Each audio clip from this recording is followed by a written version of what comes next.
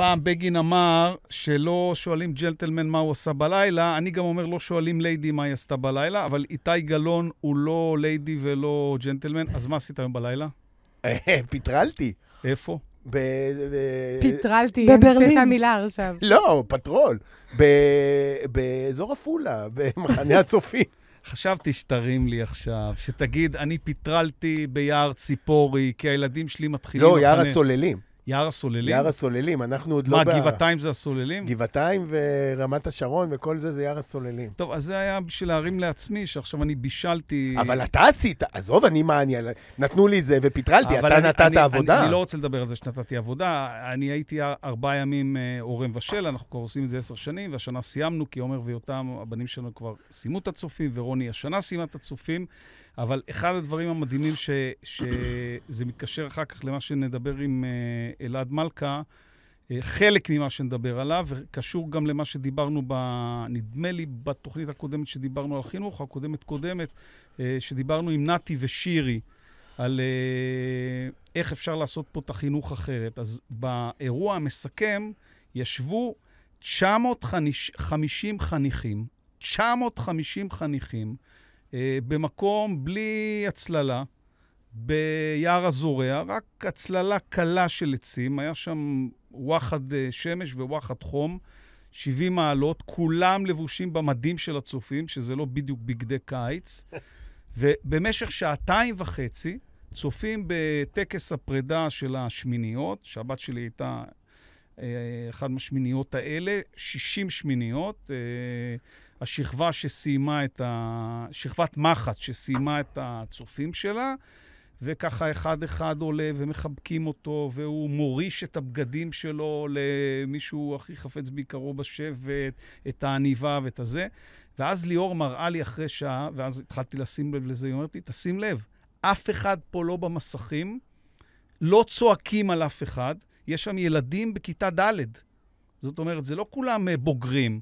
יושבים בשמש הקופחת, כולם העיניים שלהם נוצצות לתוך הטקס הזה, ולא צריך לצעוק עליהם, לא צריך לריב איתם, אה, אף אחד לא מרעיש, אף אחד לא, אף אחד לא במסכים, כולם בתוך האירוע המטורף הזה, וזה מזכיר לי משהו שאמרתי פעם אה, ליואב פרידן, הוא היה מנהל של הבן שלי, הוא הזמין אותי כי הבן שלי לא מגיע בזמן. יותם לא היה מגיע בזמן. אמרתי לו, תגיד, אתה מזמין אותי ברבע לשמונה להעיר לי שלבן שלי יש 50 איחורים? מה זה מעניין אותי בכלל? תדאג שהוא לא יאחר. אני נותן לך את הבן שלי להיות אחראי עליו חצי יום, תדאג שהוא לא יאחר. הוא לא מאחר לצופים אף פעם. הוא בא שעה לפני הזמן, ב-4 בבוקר, ב-5 בבוקר, ב-3 בלילה, ב-2 בלילה, כשהם יוצאים למחנות. הוא מגיע בזמן, הוא אף פעם לא מאחר, הוא תמיד מגיע לפני הזמן. תשאל את עצמך למה הוא מאחר אליך. ותכף נדבר על זה עם אלעד, אה, אה, עם אלעד מלכה, איך אה, צריך אה, לשנות גם את מערכת החינוך, אבל זה באמת היה, היה מחזה מדהים, איך הבעיה היא לא בתלמידים ולא בנוער ולא בצעירים, ובעיניי גם לא במורים. היא בעיה של המערכת הזאת שמלמדת 40 אנשים בכיתה כמו במאה ה-19. טוב, יאללה, מתחילים. מה המצב, המצב, המצב, אני חוזר על זה עוד פעם, מקווה שכולם קיבלו את המזוודות שלכם, כולכם חזרתם לארץ. אה, כולם לא קיבלו את המזוודות. כל הפאנל פה חזר, כל הפרלמנט שלנו, איתי חזר מברלין. בלי ו- מזוודה. בלי מזוודה, אתה רואה? יק- luck, השם ייקום דמה. השם ייקום דבר, עוד לא חזרה, ועמנואל חזרה מפריז. עם מזוודה? עם מזוודה. עם מזוודה, כי יודעת להסתדר, אתה מבין? ברור, נו, זה... ז'ונגלר עם שני ילדים, נסע לבד, וחזרה כמו מלכה, נסעה עם מזוודה, חזרה עם מזוודה. כל הכבוד. אה, היה כיף. וגם הגיע מהשדה עם רכבת. אתה רואה, אני רואה, מכיר את כל הפרטים, כי אני, אתה רכ- יודע את אני זה? רכלן. אני- אני רכלן. אה, אני יודעת איך אתה יודע את זה עכשיו. ורוני, רוני, אה, אה, עכשיו את מבינה מה אנחנו עושים ביחד. ורוני, ורוני... אה, רוני, מאיפה חזר? שמרה, שמרה פה עליי, היא לא נסעה לשום מקום, אה. היא הייתה פה איתי והחזיקה פה את, ה, את המצודה.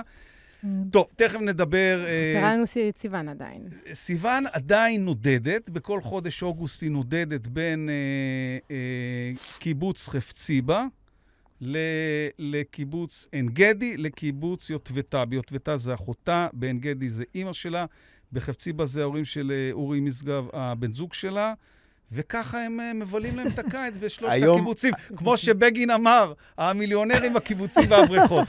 אבל רגע, אה, יש לנו את אה, אבי גרייניק בשלב השני של התוכנית. אה, הוא אומר, מזמן לא דיברתי, אמרתי לו בוא, או שאני אמרתי לו בוא, כבר לא זוכר מי הציע למי לבוא, ואז אמרנו על מה נדבר. הוא אומר, אני נדבר על הכל, על, על הפוליטיקה המטומטמת, על הבחירות המטומטמות, על הקיץ, על מה שאתה רוצה. נזרום, ואולי אני אנגן, נראה אם יבוא לי.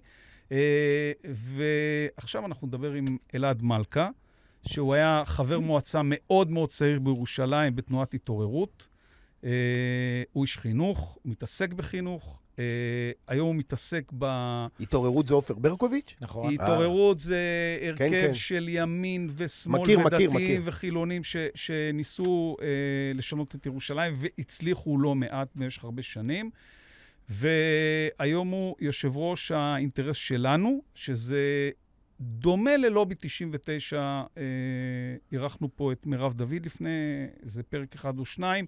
זה לובי ציבורי שממומן על ידי הציבור ודואג לאינטרסים של הציבור ומנסה להשפיע מבחוץ על, ה, על הפוליטיקה. הוא גם חבר ליכוד, אולי הוא ירוץ בליכוד, אבל אנחנו רוצים לדבר איתו היום על משהו שבעינינו הוא הכי מעניין, לא בכותרות.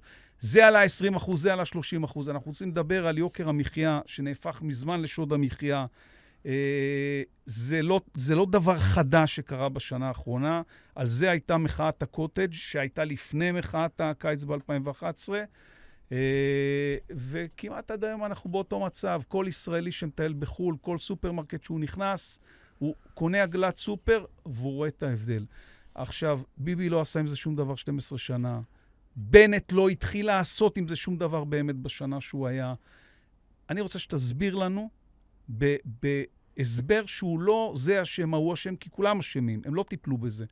איך יכול להיות שבמדינת ישראל המחירים כל כך גבוהים של אותם מוצרי צריכה בדיוק? תראה, יש, אה, כל, יש בדיחה על כלכלנים, שאחד רואה שטר של 20 שקלים על, השול, על, ה, על הרצפה, הוא אומר לחבר שלו, תראה, שטר של 20 שקל. הוא אומר לכלכלן השני, לא יכול להיות, אם זה היה שמישהו כבר היה מרים. למה אני אומר את זה? כי כלכלנים חושבים בצורה הזאת, אם המחיר בחוץ לארץ יותר נמוך, למה בארץ הוא יותר יקר? אם אפשר להביא את המחיר לפה, אז בוא נביא אותו. אם אי אפשר, משהו יתקלקל בדרך. וזאת כל התורה על רגל אחת. כשאתה מסתובב, ב...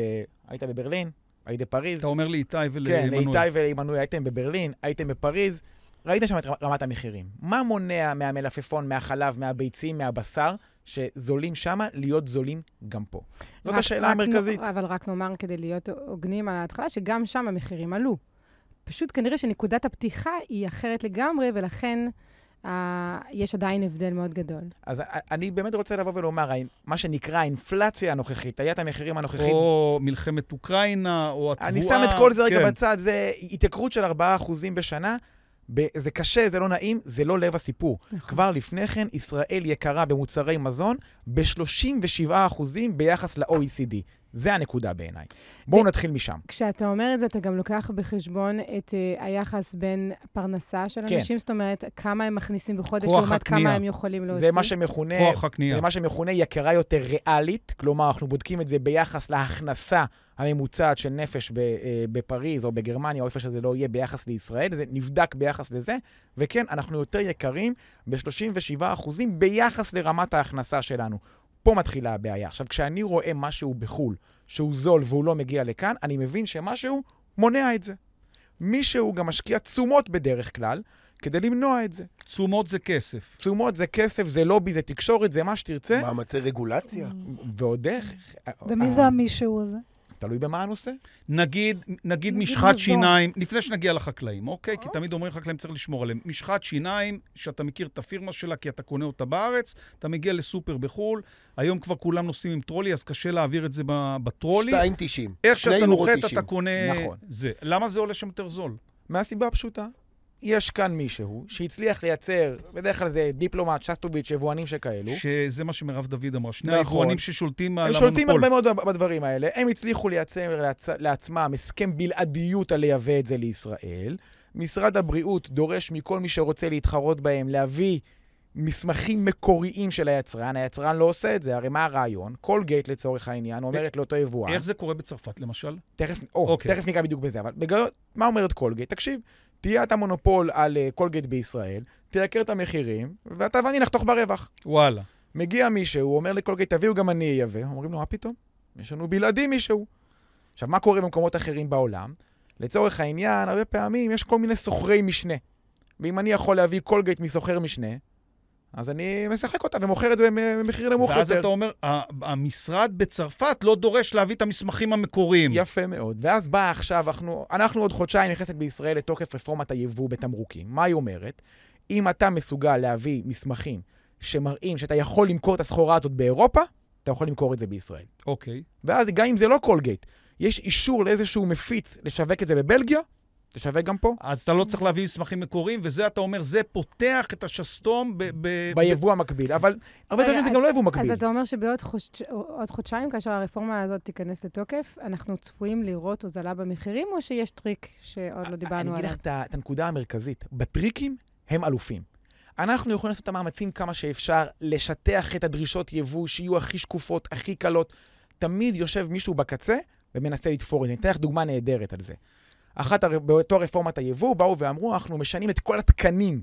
יש מלא תקנים לישראל, 500 ומשהו תקנים ייחודיים לישראל. שהם? יותר ייחודיים ממדינות הם ייחודיים. כמו ישראל, נגיד צרפת ואנגליה. הם ייחודיים, הם באים ואומרים, אתה רוצה לייבא לפה עכשיו, נשאר בדוגמה הזאת עם מזגנים, אתה צריך לעמוד ברגולציה מסוימת.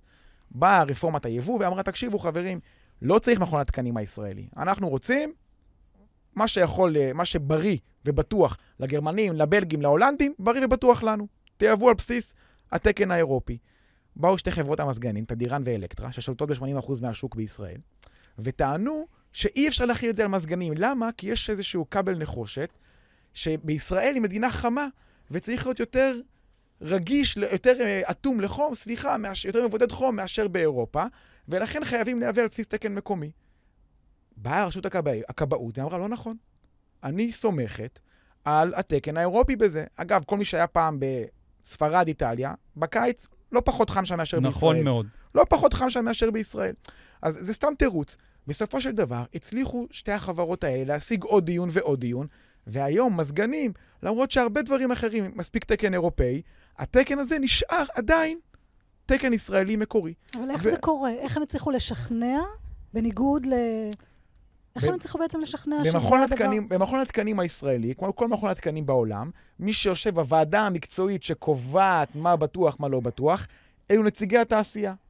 אז ישבו שם שני נציגים, הבנתי. והתווכחו, הבנתי, ושכנעו, הבנתי. והזמינו עוד חוות דעת ועוד חוות דעת, והרפורמה בתוקף, והם הצליחו אבל למסמס את זה. כשנציגי הכבאות מגיעים כגוף שאמון על, על העניין הזה, מגיעים ואומרים דעה סותרת את מה שחברות המזגנים, שיש להם אינטרס ואת עכשיו, מובהק, למה בעצם מקשיבים להם ולא להם? כי את עכשיו, אותו נציג שיושב במכון התקנים, והוא לא זה ולא, הוא נציג ציבור, הוא לא זה ולא זה.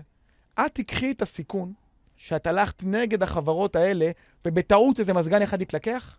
את תיקחי את הסיכון עלייך? אני לא לוקחת את הסיכון, כי יש את נציגי הכבאות שאומרים. אז זה רגע, האירוע. אז, אבל אז זה האירוע. איך, איך משנים את התופעה הזאת, שאתה עכשיו הסברת אותה מצוין, שבישראל, שהיא מדינה לא יותר מודרנית מהרבה מדינות אירופאיות, יש מחסומים בירוקרטיים של הממשלות לדורותיהן, או של הפקידות לדורותיה, איך אי אפשר לפרק את זה. כי יושבים שם אנשים שדואגים לאינטרסים של כל התעשיינים האלה, של כל המונופולים האלה, בין אם זה בגלל לוביסטים, תקשורת, שחיה מה, מהפרסומות של תדירן וזה, אז הם לא רוצים לעשות... אה, הם, הם חיים מהפרסום הזה של המזגנים בקיץ, אז הם לא רוצים לעשות תחקירים על שתי החברות האלה. כשגם כשהם עושים תחקיר על מזגנים, הם לא מצביעות כאשמים על שתי החברות האלה. אז איך משנים את זה? איך מתקנים את זה? תראה, אחד הדברים שאני הכי מאמין בהם, זה כמה שיותר להביא את הדברים האלה לאור השמש. זה שהפרוטוקולים האלה, לצורך העניין, לא פורסמו בשום מקום. כתב כלכליסט, שם עליו את ידו, כל הכבוד. אבל ברמת העיקרון לא פורסמו בשום מקום. אנחנו הגשנו חופש המידע, אנחנו ניאבק על לקבל את זה. אנחנו נדאג שהציבור... רגע, אז זה כן פורסם בכלכליסט או לא? זה ספציפית פורסם בכ- בכלכליסט. אוקיי. עכשיו, זה מה שפורסם, כמה סיפורים כאלה לא פורסמו? זה במקרה, כתב אחד, שלמה טייטלבאום, שם עליו את ידו ומצא את הנכס הזה. אבל אנחנו מבינים שיש כאן מאות מוצרים, אם לא אלפי מוצרים.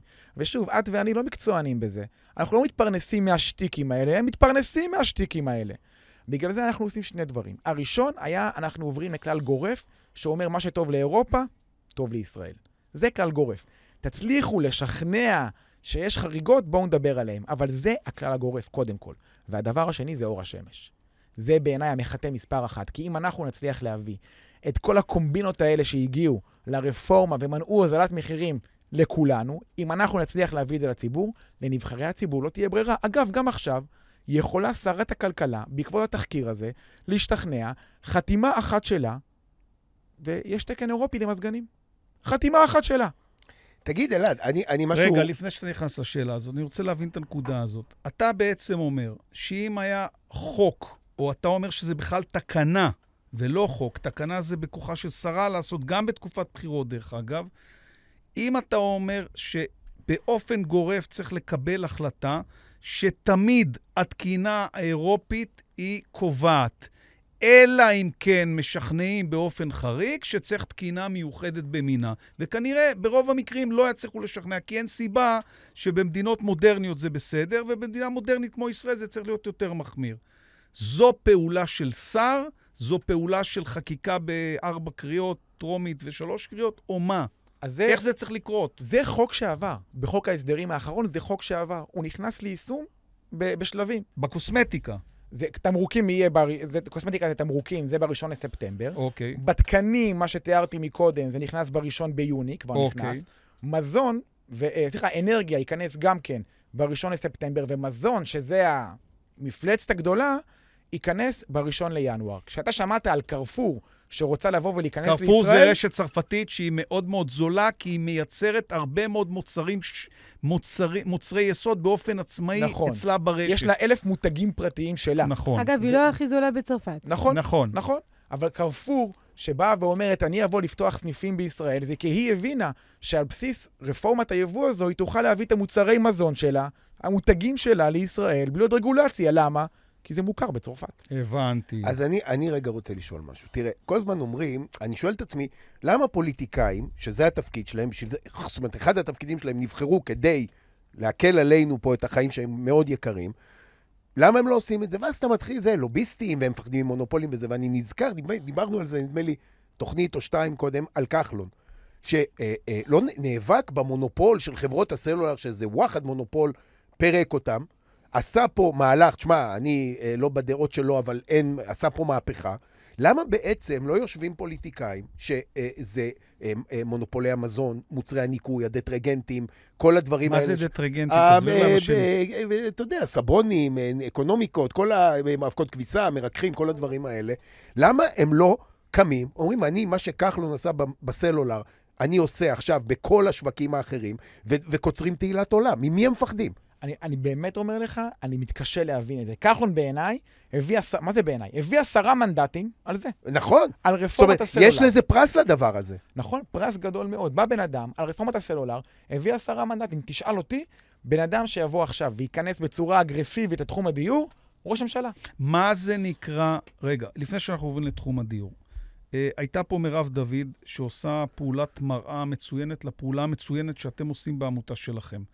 אה, זה שירות לציבור. אתם בעצם עובדים אשכרה בשביל הציבור, בלי לקבל 40 אלף שקל או 50 אלף שקל משכורת שלך כחבר כנסת, ואתם כנראה משפיעים יותר. היא ישבה פה והיא אמרה שכנראה אין ברירה עם כל הרפורמות האלה שעושים ועם הקוסמטיקה וזה. בסוף הדבר המרכזי שצריך לעשות, יש פה חמישה טייקוני מזון ועוד שני טייקונים יבואנים, מה שאמרת, דיפלומט ו... והחברה השנייה, שסטוביץ, וצריך לפרק אותם. כששאלנו אותה מה זאת אומרת לפרק אותם, היא הסבירה, היא אמרה, לא יכול להיות שיש מונופול בקפה, שהוא גם מונופול בפסטה.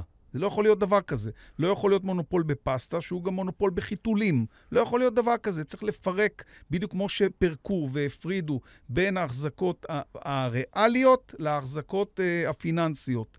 אמרו לבינו צדיק, אתה לא יכול להחזיק גם חברת דלק שנקראת פז וגם את הבנק הבינלאומי. תחליט על מה אתה מוותר. אה, וכנראה שצריך לעשות את זה איתם. למה לא עושים את זה? זה לא, זה, האם ה... בארצות הברית, כשאומרים לך למה לא אה, מבטלים את האפשרות ל- לקנות נשק בכל מקום, אז אומר לך, זה לא רק בגלל החוקה, זה בגלל הלובי של הנשק שהוא אימתני, שהוא מממן פוליטיקאים. למה אי אפשר לעשות את זה פה? הם מממנים פוליטיקאים? לאיך זה עובד פה? א', בישראל אי אפשר לממן פוליטיקאים. לפחות לא חוקית. אם קורים דברים אחרים, אני לא יודע. אבל חוקית, כסף פרטי, מאוד קשה לממן פוליטיקאים. מגבלות גיוס כספים של נכון. מתמודדי פריימריז לצורך העניין, זה 11,000 שקל לבן אדם. נכון. זה כלום. אף אחד לא קונה פוליטיקאי ב-11,000 שקל. אז, אז אני לא חושב שזה הסיפור פה. Uh, uh, אני גם אגיד, אני חושב שהיא טועה מירב בהקשר הזה. אני לא חושב שזה נכון לבוא ולומר, אה, אתה לא יכול, אני גם אגיד, אתה יודע, אני אגיד עוד דבר על זה. לבוא ולומר שיש מונופול בפסטה, זה בעיניי לא נכון. אנשים בישראל, מהעדפות צרכניות בעיניי שגויות, אוהבים פסטה אוסם. יש פסטה רמי לוי, יש פסטה שופרסל, יש פסטה אה, ברילה, לא חסר פסטות אחרות, אגב, במחיר זול. עובדה שמחאת הפסטה, שלרר הוביל אותה, היא הצליחה, ואנשים הפסיקו אה, לקנות אוסם, והמשיכו לצרוך פסטה נכון. אחרת. יהיה, כי זה לא מונופול. זה לא מונופול כשיש לי מתחרים. אם אנשים ממשיכים להעדיף את זה, כי יש להם, ישראלים הם סוג של נרקומנים של מותגים, אז זו בעיה צרכנית וצריך להידרש לה ברמת האוריינות, נקרא לזה, התפיסה, הצרכנית נכון, שלנו. נכון. אבל ברמת, אני לא רואה שום סיבה להיות כבול למותג זה או אחר. עכשיו, ככל שיש לי תחרות בין כמה סוגי פסטות, אני בעד. ואז אין לי כאן בעיה של מונופול, אני אומר באמת, איפה כן? אבל אם כל, סליחה, אם כל סוגי הפסטות בסופו של דבר מתחלקות בין שני יבואנים בלבד, או בין שתי חברות ענק בלבד, זה עדיין מונופול. אז יש לזה חמש, שש שמות שונים. זה לא... זה, זה, זה, חמישה, שישה שמות שונים, זה עדיין מונופול, אם זה בסוף מתנקז לשתי חברות. אני, אני לא בטוח, כי כדי שזה יהיה משהו ריכוזי, צריך שיהיו שני דברים. א', שנראה מעט שחקנים, וב', שנראה שהמחיר, שהצמצום שחקנים הללו באמת מראה שהמחירים גבוהים יותר. בסדר, בתיאוריה הכלכלית, לדוגמה, מלמדים שהתחרות בין צומת ספרים לסטימצקי הייתה אחת התחרויות האגרסיביות במחירי ספרים שהעולם הכלכלי ידע. למה? כי היו רק שני שחקנים חזקים, אבל הם התחרו באגרסיביות כי כל אחד רצה את כל הקופה. זה יכול לקרות. לכן, זה שיש לי מעט שחקנים, לפעמים זה בגלל גודל שוק. זה יכול להיות. נכון, זה אני מסכים איתך. אז, אז בעיניי זה לא האינדיק... זה, זה, מה שנקרא, זה יכול להדליק נורה. זה לא הסיפור. גם רשתות השיווק והמזון, הרווחיות שלהם היא 4 אחוזים, פעם בעשור קורסת פורשת שיווק, זה עולם די תחרותי. רגע, אז אני רוצה אה, בכל זאת לנסות למקד אותך. אוקיי, אנשים פחות או יותר הבינו מה הבעיות, אה, הרבה מאוד אה, בירוקרטיה, הרבה מאוד טופסולוגיה, שמשרתות את המונופולים ואת התעשיינים המקומיים, כדי שלא תהיה תחרות מבחוץ, לא לאפשר להביא מחיר, מוצרים מבחוץ במחירים שהם לא גבוהים, אין תחרות חופשית. נניח שמחר אה, ראש הממשלה היה קורא לך ואומר לך, אתה השר לענייני יוקר המחיה, אתה יכול, אתה לא צריך אפילו את כל הסמכויות, זה מה שאנשים לא מבינים. זה כמו כחלון, הרי אף אחד לא נתן לו את כל הסמכויות בסלולר. ביבי אפילו התנגד לזה באיזשהו שלב, אבל ברגע שהוא הוביל את זה בצורה כל כך אגרסיבית, הציבור כל כך היה איתו שאי אפשר היה לעצור אותו. כי כמו שאמר איתי, יש אה, פרס בסוף המסלול הזה. אז נניח שראש ממשלה היה בא ואומר לך, אתה השר לענייני יוקר המחיה, תתחיל לרוץ. מה היית מתחיל לעשות ובכמה זמן לדעתך אפשר להוריד פה את סל המוצרים הממוצע, שיודעים מה רוב הישראלים קונים, כי יש פה דוחות של כרטיסי אשראי, יודעים פחות או יותר מה הסל הישראלי, להוריד אותו בכמה? ב-25%, ב-30%? לכמה אפשר להוריד אותו? אני חושב שאפשר להוריד אותו ב-37 אחוזים לפחות. וואלה, מה שאמרת בתחילת מה השיחה. שאמרתי מקודם, בדיוק. אוקיי? זה, זה, זה נקודה אחת מרכזית. וזה אפשרי, אגב, לטעמי, בסדר גודל של שנה, שנה וחצי. נכון, כי אפשר את ה, כל הדבר הזה של, אה, של אה, חוק הסדרים, אפשר להעביר את זה גם פעמיים בשנה. לא חייבים להעביר את זה פעם בשנה. אני חושב שתהיה תמיכה ציבורית גורפת באהבה.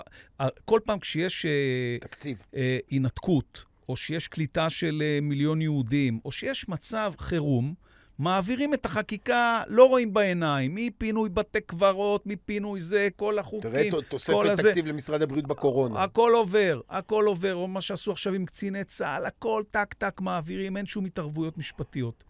יש מצבים שאפשר להעביר את זה כשיש תמיכה ציבורית. תוך כמה זמן לדעתך אפשר לעשות את זה, ואיזה סוגי חקיקה צריך לעשות כדי שהדבר הזה יעבוד. לגבי התקנים, אמרת, נתת דוגמה אחת. זה נמצא עוד? שם, מיפוי שלהם, חתימה של כולם על מעבר למסלול אירופאי, קיצרתי תהליכים. זה אוקיי, אחד. אחד. שתיים. שניים, כל המכסים שיש לנו. יש לנו המון מכסים, בעיקר בעולם המזון. מכס, רק נסביר, מזון, זה- מח, אה, אה, רכב, רכב, תכף נדבר על רכב, אבל קודם כל בעולם, מה, מה זה אומר מכס? מכס זה מס על יבוא מוצרים לישראל. כאשר אני מייבא לצורך העניין, אחת הדוגמאות האהובות עליי, ענבים לישראל, אני משלם 560 אחוזי מכס. מה זה אומר? שאם קילו ענבים עולה בספרד 5 שקלים, רק המכס עליו יהיה 18 שקלים. ולכן אף אחד לא ימכור את זה בישראל בפחות מ-25 שקלים, שזה די קרוב למחיר היום, ה-30 שקלים לקילו שזה נמכר באמת. אבל זו, זו הסיטואציה. עכשיו, זה לא רק, ב, זה בעיקר במזון, אבל לא רק במזון. ברכב, המס רכישה על רכב הוא ענק, הוא עצום. עכשיו, בעיקרון, כל המיסוי בישראל הוא, בנושא הרכב הוא, הוא פשוט לא נכון. צריך למסות את השימוש ברכב, ולא את עצם החזקת הרכב. ולכן הייתי, הייתי אה, מקל את מיסי הקנייה של רכבים. נסביר שזה יכול להגיע למעל 100 אחוזים, תלוי כמה הרכב יקר בבסיס שלו. וממסה את השימוש כדי לעודד שימוש בתחבורה ציבורית. מצ, מצד אחד, וגם כדי לשמור על איזון. לשמור על איזון. אנחנו אגב הצענו, תוך- מד- תוך שנתיים-שלוש ייכנס אה, לישראל, ייכנס לאזור תל, לא רק, ביס, לא רק תל אביב, כל גדרה חדרה בעצם, נושא אגרות הגודש, שאמור בעצם למסות את השימוש בכבישי ישראל, אמור להכניס למדינה 1.5 מיליארד שקלים מדי שנה. אנחנו באנו ואמרנו, חברים, תפחיתו כנגד זה או מס רכישת רכב, או את האגרה השנתית, על מה 1,500 שקל בשנה כי יש לי רכב. אין שום היגיון בזה. עכשיו, המס הזה, הוא גורם גם שאני מוציא יותר כסף על רכב, וגם אנחנו הישראלים קונים רכבים בטוחים פחות ומזהמים יותר, כי זה עולה יקר כי מאוד. זה יקר מאוד. כי זה יקר תנו לי מאוד. לקנות רכב מתקדם יותר, הוא כנראה יהיה בטוח יותר ומזהם פחות. אז תנו ללכת לכיוונים הללו. אז זה עוד דוגמה. יש לנו עוד שורת דברים כאלה, שהם חוסמים את היבוא לכאן, ובכל המוצרים, מה שנקרא השכירים, שאפשר לייבא מחו"ל, הייתי הופך את ישראל למה שנקרא אזור סחר חופשי. זה אומר שאפשר לייבא לכאן בצורה חופשית, בלי מגבלות רגולטוריות, בלי מגבלות מס, כמה שיותר מוצרים, כדי שכשאני רואה מוצר זול בחו"ל, אותו כלכלן יגיד למה הוא לא זול בישראל. למה? כי אני יכול לייבא ולהרוויח כסף. קדימה, אני אייבא וארוויח כסף. זה הסיפור הכלכלי על רגל אחת. תסביר עוד פעם מה זה אזור סחר חופשי. סחר חופשי אומר, אני מבטל את כל המגבלות הרגולטוריות שאמרנו, התקנים, הדברים האלה, מבטל אותם. כל מה שטוב באירופה, ארה"ב, איפה זה קיים בעולם? באירופה לדוגמה. הבנתי. הרפור... בשוויץ עשו רפורמה מדהימה, שמשם שאבו את העיקרון בישראל, שנקרא הקסיס, ובעצם באו ואמרו... הקסיס. הקסיס, זה איזשהו שמן נראה לי צרפתי או משהו כזה. אמ, ואמרו כל דבר שיש לו תקן במדינה מפותחת, נאמץ את זה פה גם כן. זה בעצם משם נולד הרעיון. ובואו ניקח את זה גם לפה. זה נשמע מצוין, סליחה רגע, עמנואל, זה נשמע מצוין. דברי, רוני. אבל למה לא עושים את זה? באמת, אני כל הזמן שואלת את השאלה הזאת, כי הכל תקוע. תשאלי, תשאלי את זה ואני 200 אני פעם. פשוט לא מצליחה להבין. כולנו- כלומר, כולנו שואלים את אותו דבר. כי... לא, זה מדהים, אז- כי זה נשמע מדהים, וזה דומה, אבל- נשמע קל, וזה נשמע פשוט, וזה נשמע משהו, בעיקר המיסוי, שזה תלוי בממשלה, זה לא איזה נכון. מונופולים גדולים שמגיעים וחוסמים, ויש בירוקרטיה והכול, ואפשר להבין את החשש וכל מה שדיברת. אז למה הממשלה לא עושה את זה? אז רגע, אולי אלעד, אני אשאל. שאלה משלימה, שאולי תענה.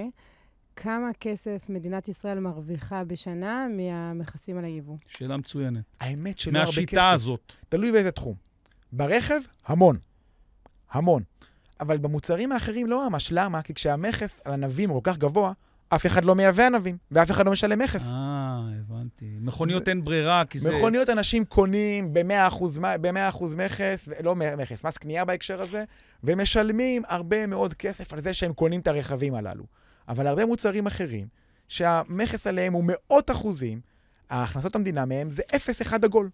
כן, אבל איפה שזה לא מאות אחוזים, זה עשרות אחוזים. ואז אפשר לייבא, ואז זה מס, במסתבר, זה גם מייצר זה הרבה מאוד מגיע- כסף לקופת המדינה. היה עכשיו, אה, כשהתחיל כל גל עליית המחירים, ליברמן יצא בתוכנית הפחתת מכסים רוחבית. כן. ופרסמו מלא צווים, כבר אף אחד לא יודע מה נחתם, מה לא נחתם, אבל כל אחד מהם בשורה התחתונה, בסופו של דבר הגיע ל...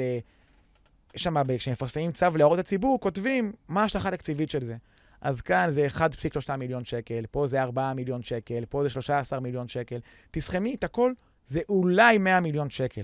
בתקציב מדינה של 450 מיליארד שקל, זה לא... אז מה התשובה לרוני? אני חושב שהתשובה היא לא בהכנסות של המדינה ממיס- ממיסים אני- בהקשר הזה. אני תכף אגיד למה. אני חושב שזה לחלוטין עניין של תמריצים פוליטיים. נכון, אני גם... הפוליטיקאים בישראל חושבים שעל כלכלה אנשים לא מצביעים. נכון. ככה הם תופסים את זה. התראיין פעם אה, אייל זה נכון גבאי. עד עכשיו, זה נכון. אני חושב שזה נכון. זה קצת השתנה מאז אה, 2011, המחאה, אבל שאז התחילה תודעה כלכלית וחברתית. עד אז בטוח זה לא היה בתודעה, ועד עכשיו אנחנו רואים שזה לא באמת משפיע על תוצאות הבחירות. תראי, אני רוצה להסכים איתך, אני אגיד פה שני דברים. אבל קודם כל, אתה אמרת קודם שכחלון קיבל עשרה מנדטים בדיוק על זה. אבל אז זה לא הישג? יוצא דופן. אה, א', זה. נכון, זה הישג יוצא דופן, ואפשר אגב, בדברים אחרים לשחזר. אותו. אבל אני אגיד, קודם כל, הבחירות בישראל בצורה די מפגרת זה על כן ביבי, לא ביבי. אחרי שעוברים את כן ביבי, לא ביבי, הבחירות בישראל עוברות לדבר על דברים אחרים. עכשיו, כלכלה, בעיניי אגב, היום, כנראה רלוונטי לארבעה עד שישה מנדטים. אני מסתכל על אנשים שהצביעו בגלל זה לימינה, לפייגלין, בוא נראה עכשיו ליברמן, אנשים שנשאו את הדגל הזה. ורואים לאורך התוצאות האחרונות שזה כנראה ארבעה עד שישה מנדטים. הטעות בעיניי של הפוליטיקאים היא שבמצב הנוכחי, שיש פה שני גושים עם תיקו ביניהם, הארבע, להעביר שניים מהמנדטים האלה גוש, זה ינצח בבחירות. אני מסכים איתך נכון. במאה אחוז. רגע, לפני שאתה מסכם את זה, כי אני מסכים לניתוח הזה, ונרחיב עליו בסוף, אמרת אזור סחר חופשי, אמרת תקנות בירוקרטיות, אה, מכון התקנים וכולי. בוא ניגע בנושא השלישי, וזה ההגנה הלוביסטית על חקלאים. מצד אחד אומרים, המלחמה, והקור... המלחמה באוקראינה והקורונה הוכיחו שכל מדינה צריכה את החקלאות שלה ואת יכולת אה, ייצור האוכל שלה, בטח כשמשבר האקלים מתעצם, ובטח שיהיו אזורים שלמים בעולם שלא יוכלו לגדל שום דבר. אבל מצד שני, כשמגינים על חקלאות באופן שמגינים עליו בישראל, על, אה, על אה, מכסות ביצים ומכסות זה, אז אין התייעלות, כי ככה זה בחיים, כי כל אחד יש לו, יש לו נחלה. מה כן אפשר לעשות ולשמור על החקלאות הישראלית? אז קודם כל נתחיל ככה. אם דיברתי על מוצרי המזון מקודם, 37 אחוזים אנחנו יותר יקרים, אז בביצים וחלב אנחנו יקרים ב-80 אחוזים. מדהים. אוקיי? אנחנו יקרים יותר ב-80 אחוזים ביחס ל- אה, ל-OECD. אז אה, נתחיל רגע מה- מה- מה- מה- מה- לשים את זה על השולחן. אני אשים פה את הנתון שאני אוהב להזכיר אותו הרבה פעמים, במ- במיוחד אגב, אני אומר כאן למפלגות שמתיימרות לייצג את השכבות החלשות, ועושות בדיוק הפוך מזה. אלו שמשלמים את המחיר הגבוה ביותר, הם השכבות החלשות שמוציאות באחוז, בעשירון הראשון והשני, מוציאות מעל ל-50 אחוזים מההכנסה שלהם על מזון. מדהים. זו הסיטואציה. בן אדם מקבל משכורת הביתה, חצי מזה, מזון. אחרי זה נדבר על שאר הדברים. זה האירוע של, המש... של השכבות החלשות. וכאשר מייקרים להם את המוצרים בדרך הזו, אני חושב שזה אנשים שחוטאים לציבורים שהם מייצגים בצורה הכי צינית ורעה שיכולה להיות, אמיתית. עכשיו בואו נסתכל רגע מה אפשר לעשות. קודם כל, אני חייב לציין, אני כופר בתיאוריה שביטחון תזונתי, מה שנקרא, להבטיח לנו את המזון, זה על ידי ייצור מקומי. אם נסתכל על השנתיים האחרונות, מחסור בחמאה, מחסור בביצים, מחסור בפירות הקיץ, מחסור אה, אה, בחלב, מה משותף לכל הדברים האלה? ייצור ישראלי. מקומי. מה חסומים, חסומים ליבוא? חסומים ליבוא. הסתמכות על ייצור מקומי בלבד. כאשר יש לי רק ייצור מקומי, יהיה לי מחסור. למה? כי פעם יש מכת חום, ופעם יש לי מבצע אה, צבאי בעזה. למה? אבל יש חמאה שנכנסת אה, מחו"ל, עכשיו, ויש כי- ביצים שנכנסות מחו"ל. החמאה שנכנסת מחו"ל זה עכשיו, אבל ב-2019 לא היה. אם את זוכרת, נכון, היה ב-2019 מחסור, היה מחסור. רדפנו בין הסופרים נכון. אחר חמאה. היה כתוב במכולת אני אה, אלפ- אני יחידה תמיד אחת. קניתי אה, חמאה אה, מחו"ל בארץ. אשרייך שזכית, הרבה אחרים לא זכו כנראה. נכון, אצלנו, אצלנו, אז זה מאוד מאוד יקר, אבל. אצלנו באזור כיכר המדינה היה חמאה אחת לבן אדם, כולל תוצרת חוץ, במשך איזה שנה. 2019 היה כאן מחסור מתמשך בחמאה, עד שבאמת פתחו את זה ליבוא. סתם לסבר את האוזן. המכס על החמאה היה 140 אחוזים. אוקיי. אוקיי? זה נגיד לסבר את האוזן. אז זה דוגמה לגבי זה. גם ביצים. עד השנה, כל פעם בפסח היה מחסור. נכון, השנה, פורר פתח מכסת יבוא. פורר שר החקלאות. עודד פורר, שר החקלאות, פתח מכסת יבוא ביצים של 2 מיליארד ביצים, זו כמות אסטרונומית. ואמר, במקום לייבא רק משלוש מדינות, אוקראינה, ספרד ואיטליה, נאפשר גם פורטוגל, נאפשר גם פולין, נאפשר בולגריה, עוד מדינות. מה קרה ב- מה זה בפסח? נקרא נאפשר? מה זה המילה הזאת נאפשר? או, נוריד. מכסים? מה זה נאפשר?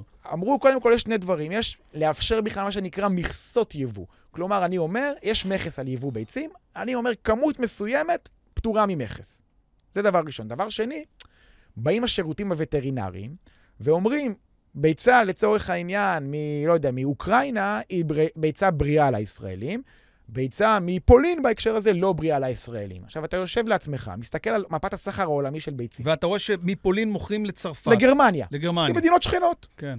ביצים, הפול- מה שונה בגרמנים, שעבורם הביצים הפולניות טובות, ועבורי ועבורך הן לא טובות. היבוא, אולי אני- ה- אם יש רגולציה של על תנאי היבוא, בואי נעמוד בה, אין לי בעיה.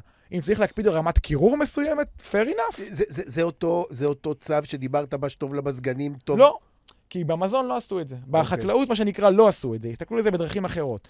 עד שנכנס מנהל שירותים וטרינריים חדש ואמר, לי יש משימה לפתוח עוד מדינות. כי סוף סוף שר החקלאות, מדהים. הוא לא, עודד פורר, הוא לא היה שר החקלאים, חד משמעית. הוא היה שר הצרכנים. לגמרי. זהו, אז אני זה... חייב לציין, עודד אה, פורר יפה, מסתובב ואומר, יפה, אני יפה, לא לא- לוביסט של אה, אף ציבור, אני לוביסט של תשעה מיליון אזרחי ישראל. תמיד היה נהוג שההתיישבות, או המושבים או הקיבוצים, אגב, ה- גם בליכוד, ישראל נכון. כץ, שר החקלאות, שולחים, או שלום שמחון, מפלגת העבודה, או תמיד שולחים את נציג, נציגנו בהתיישבות להיות שר החקלאים. וזה נקרא שר חקלאות, זה לא שר חקלאים. זה הלוביסט הראשי. ומה שהוא אמר קודם, הוא כאילו הגניב את ההערה הזאת, אלעד, אבל זו הערה מאוד חשובה, שצריך לדאוג לחקלאים, אבל צריך גם לדאוג לשתי השכבות הנמוכות. ושתי השכבות הנמוכות, כשהם משלמים על ביצים 80 אחוז יותר, וכשהם משלמים 50 אחוז מהשכר שלהם על אוכל, לא על מסעדות, על האוכל שהם צורכים, והם לא צורכים לא מזון בריא ולא מזון יקר,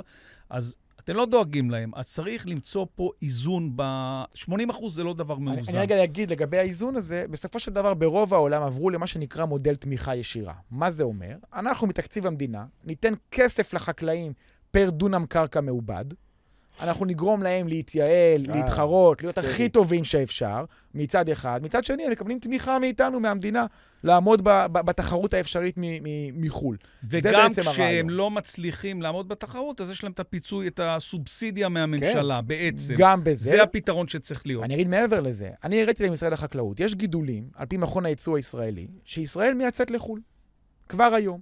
עכשיו, אם אני מייצא לחו"ל, זה אומר שאני יותר זול מהעולם. אבוקדו, למשל. אבוקדו דוגמה מעולה, נכון, פירות הדר לדוגמה, מג'ול לדוגמה, יש לא מעט גידולים כאלה. תמר מג'ול, תמר נכון. מג'ול, נכון. אם אני מייצא את זה לחו"ל, זה אומר שאני טוב כבר היום. עכשיו, מה רע לי שיותר חקלאים ישראלים יעברו לגידולים האלה, ואת הבננה אני אייבא מקוסטה ריקה? למה לא? כי מה, כי מה, תשלים את המשפט. כי אז אני מביא לפה סחורה בזול מקוסטה ריקה, החקלאים הישראלים מתמקדים ביתרון היחסי שהוא יותר רווחי באקלים הישראלי, הם מרוויחים יותר כסף, זאת אומרת, וכולנו מרוויחים. זאת לא, לא אומרת, כולנו, סליחה, יש פלח שלם של חקלאים שלא יכולים יותר לגדל את הבננות שלהם, ואז הם אז הם נמחקים יעברו מהשוק. מזה לזה. מה שהוא אומר, אפשר לעבור מ- הוא אפשר אומר- לעבור מבננה הוא לאבוקדו. אומר, לא צריך לתת לך, לא צריך לתת לך הגנה על זה שכל החיים תגדלי בננה. הוא אומר שמשרד החקלאות, הוא צריך לדאוג לחקלאות, לצרכנים, למגדלים ולחקלאים, לכולם ביחד. ואז, כדי לשמור עלייך להיות חקלאית, אם פעם אחת גידל פרחים וזה לא רווחי יותר, אז הוא עוזר לך לעבור לגידול של בננות. הוא נותן לך סובסידיה על התקופה עד שאת עוברת, איך את עוברת, על החלפת יש הכלים, לעבור החלפת. הקוטפות. אני מבינה לגמרי מה שאלעד אומר, ויש בזה הרבה היגיון. אני בכנות לא מספיק מכירה ומבינה בתחום כדי לענות. אני בטוחה שלחקלאים יש גם, או חלק מהחקלאים, תשובה אה, לעניין הזה. אה, אני אני לא מכירה אותה. בטוח שיש להם תשובה, אבל תראי, קודם כל, יש גם אנשים שקשה להם באיזשהו שלב לצאת באזור נוחות, אבל זה לא בעיה שלי בתור צרכן. לא, אני יש- צריך לעזור להם לצאת... תראי, אני חושב, עוד פעם, אני מומחה קטן מאוד בכלכלה ובזה, אבל כל מה שקרה, האימפריה, שסין, האימפריה הכלכלית שסין נהייתה, נהייתה בגלל שהם אה, אה, אה, עבדו מאוד חזק על מה שהם טובים בו, שזה כוח עבודה זול. בסדר? ומזה נהיה, הם נהיו כזאת אימפריה, ו- ומוכרים בכל העולם את כל האלי אקספרסים וכל הדברים האלה. ובגלל זה מייצרים אצלם צ'יפים, ו... מה, מה שהוא אומר, הוא אומר, הוא בעצם אומר ש, שהרבה שנים, אני חושב ש, ש...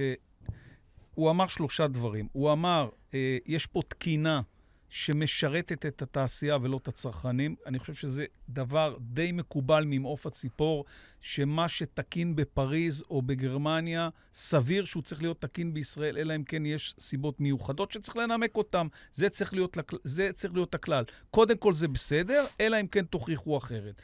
הדבר השני שהוא אמר, אה, יש פה מכסים בלתי אפשריים שנועדו לעצור יבוא של הרבה מאוד מוצרים. את לא יכולה את הקולגייט לקבל מספקים יותר זולים באירופה, את מחויבת להיות אה, ספק ראשי, שזה זה צריך לפרק את זה.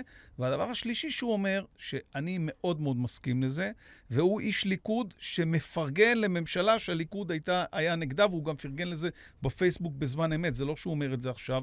הוא אמר, הממשלה הזאת, פורר עשה גם דברים אה, מצוינים בעניין הזה של המכסים. כי צריך לדאוג לחקלאים, וצריך, אני לא בעמדה של אלעד, אני חושב שחקלאות מקומית היא חשובה. אבל שר החקלאות לא צריך להיות שר החקלאים, הוא צריך להיות שר הצרכנים, שר החקלאות ושר החקלאים. והוא צריך לאזן את התמונה הזאת. זה שהרבה מאוד שנים באו בעלי עניין, ישבו במשרד החקלאות וקיבלו הוראות מהקיבוצניקים והמושבניקים, זה לא טוב. זה לא טוב, זה לא טוב למדינת אז- ישראל. זה לא טוב למערכת הביטחון, ששר הביטחון עושה מה שטוב ללובשי המדים בלבד. לא טוב. זה לגמרי, אני תמיד אומר, זה תמיד ככה. כלומר, יש איזושהי נטייה למשרדי ממשלה להפוך להיות, אה, במקום אחראים על נושא, שליחי האנשים שמקורבים לתחום. הרבה פעמים שר התרבות או שרת התרבות הופכים להיות שרי האומנים. נכון. ו, אה, נכון. זה, זה, זה קורה לא מעט נכון. פעמים, וגם בחקלאות זה קורה. אני- זה קורה בהרבה מאוד, את יודעת מה, ששר ש- תחבורה שמונע תחבורה שיתופית, זה כי הוא נהיה שר, נהגי המוניות. עכשיו היה איזה משהו הזוי, שבאמת כל הכבוד לחילי טרופר על הדוגמה הזאת. פנו אליו אומנים במכתב, ואמרו לו, אתה חייב להתערב על הצגה שהורידו מאיזה תיאטרון פרינג' בבאר שבע. זאת אומרת, שר צריך להתערב התערבות פוליטית לטובת אומנים. הוא אמר להם, אתם התבלבלתם, אני לא שר האומנים, אני שר התרבות, ושר התרבות לא מתערב בתרבות, גם שההחלטה היא טובה, גם שהיא לא טובה. תעשו מאבק ותדאגו שהקהל יצביע ברגליים. אני מאוד מתחבר להבחנה הזו, בגלל זה אני חושב ששר בריאות לא צריך להיות רופא, ושרי ביטחון אזרחים כמו עמיר פרץ וכמו משה ארנס, היו מאוד מאוד טובים במובן הזה שהם לא פעלו לטובת אה, האנשים שכאילו קרובים לצלחת. ושר חקלאות, עודד פורר, הוא יותר טוב משרי חקלאות של... אה, של אה, אני רק אומרת. שאני לא יודעת לקבוע את זה. לא, בסדר. ש- תסתכלי- שאתה תסתכלי איך- מתעסק בזה, אלעד, ואני. לא, אני לא מטילה ספק במה שאתה עובדים. אומר, תס- בטח לא לא, בנתונים, אני רק אומרת. אני לא יודעת לענות על זה, זה כל מה שאני אני, אומרת. אני שם מבחן. אני שם מבחן על השולחן. אם תוך חמש שנים מהיום, אני אומר את זה אחרת, בסדר? ב-20 שנה האחרונות, תוצרת החקלאית הישראלית לא גדלה בקילוגרם אחד. בקילוגרם אחד היא לא גדלה. למה? כי אין לה מוטיבציה להתייעל ולהתחרות ולהיות טובה יותר.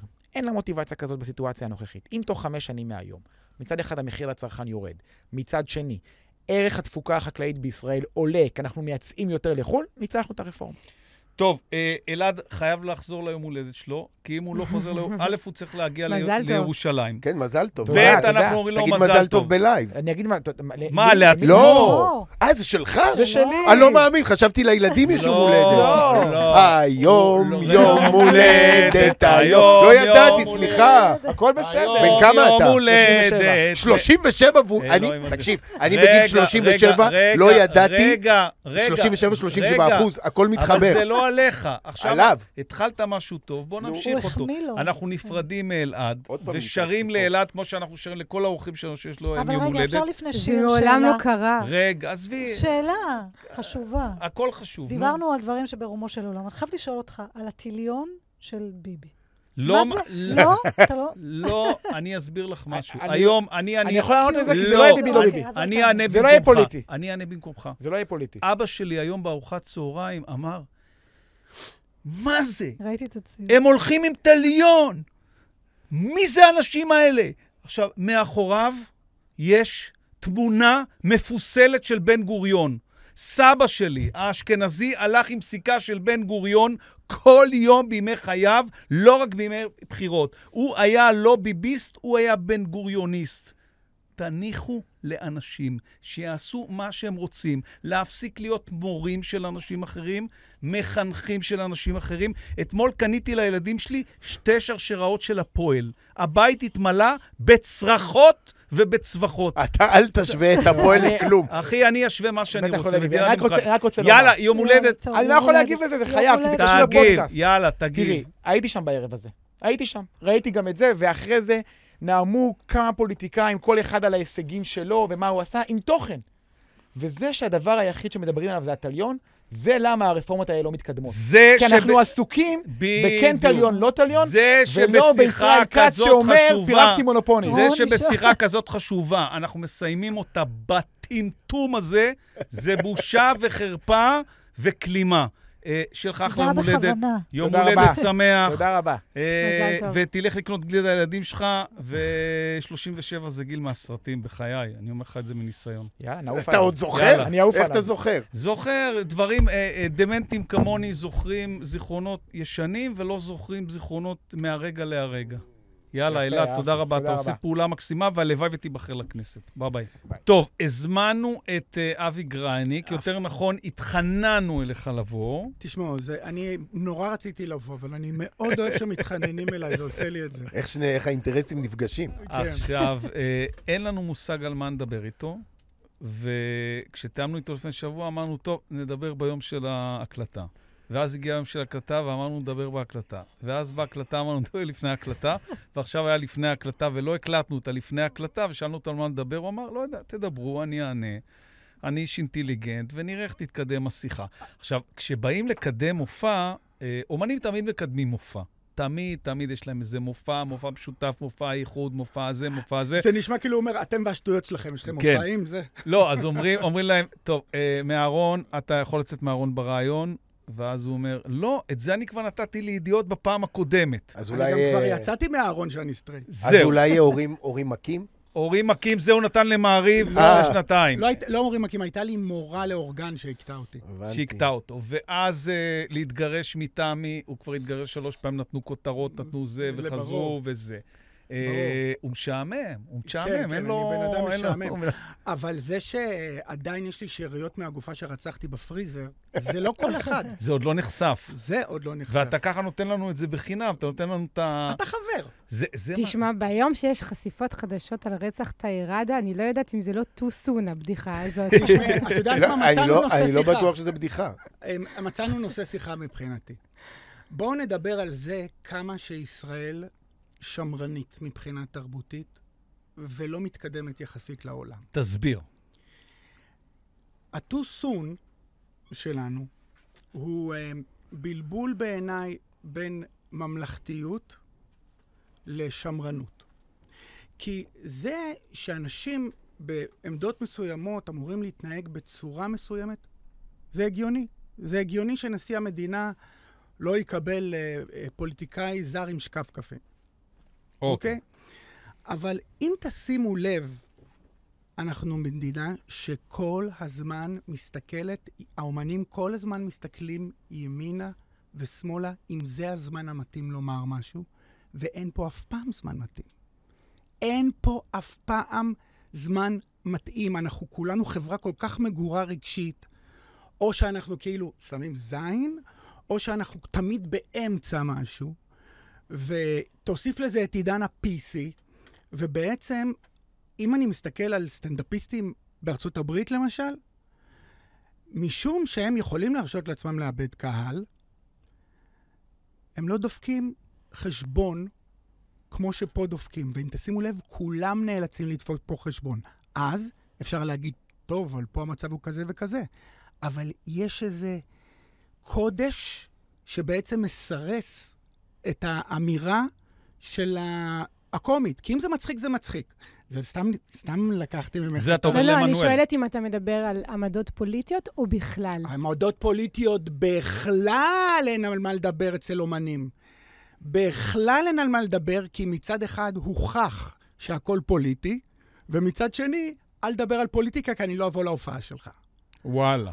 בוודאי, מה אז, זאת אומרת? אז על uh, פוליטי אסור לדבר, על פוליטי אסור לדבר על פרות קדושות. אסור לדבר, אסור והכל פה פרות קדושות. ותן לי דוגמה בפריים טיים, בואו בוא נחפש דוגמה בפריים טיים, מי מדבר על פרות קדושות? אין. פרות קדושות, למשל צבא. אה, צ- חללי צה"ל. חללי צה"ל, אה, ניצולי שואה. זאת אומרת. אה, מזרחים ואשכנזים. נ- על אשכנזים מותר לצחוק, על מזרחים לא. נכים למשל, נכים, שאני, שאני נפגש איתם, הם מתים על ההומור השחור. הם מתים על זה. זה. הם עושים את זה ביניהם לבין עצמם, הם הקהל להומור שחור. אתה לא יכול לצחוק, לתת בדיחת נכים היום בטלוויזיה בישראל. אפילו להגיד הומור שחור זה בעייתי. אבל זה לשיחה אחרת. אבל אתה זה... אתה רואה ענתה איך נפלת למלכודת? אני- ענתה- לך לא, רוני ענתה- האור. אבל היא אבל- ענתה לי לעניין בקטע של... אני מרגיש את ה understatement ממה שהיא אמרה, אני מרגיש שיש לה הומור.